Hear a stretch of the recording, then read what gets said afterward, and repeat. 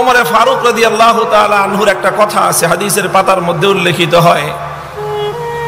ওমর এসে রসুল আলহি ওয়াসাল্লামকে একটা কথা বলেছিলেন, ইয়া রসুল আল্লাহ আলাসনা আলাল হাক্কি বহুম আলাল বাতিল?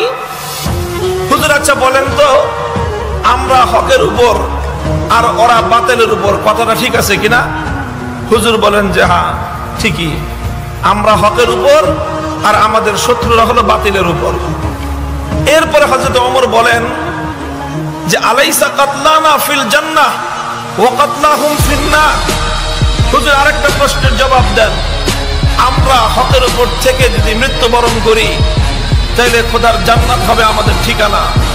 আর আমাদের প্রতিপক্ষ বাতিলের উপর থেকে যদি ওরা মরে, তাহলে ওরা যাবে জাহান নামে কথা ঠিক আছে কিনা? হুজুর সাল্লাহ আলহিহাসাল্লাম বলেন যে হ্যাঁ তোমার এই কথাটাও ঠিক। যে আমরা হকের উপর, ওরা বাতিলের উপর, আমরা মরলে জান্নাত, ওরা মরলে জাহান্নাম। হজরত অমর বলেন, তাহলে ফালামা নতি হাজিহিদ তাহলে